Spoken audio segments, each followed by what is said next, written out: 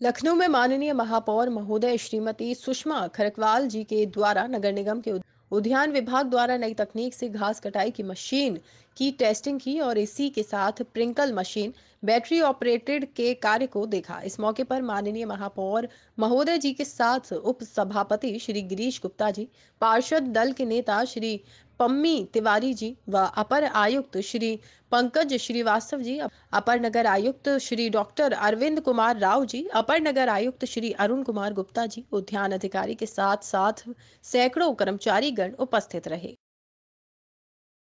काम किया है, बनाया है, हमारे अधिकारियों ने खरीदा है। अधिकारियों को मैं कहते अगर ये अच्छा काम करे दो चार महीने बाद तो और भी जितने हमें आवश्यकता होगी खरीदेंगे।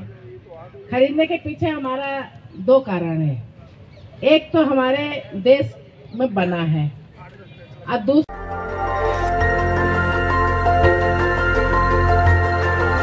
देखते रहिए डीबी भारती समाचार। नज़र हर खबर पर।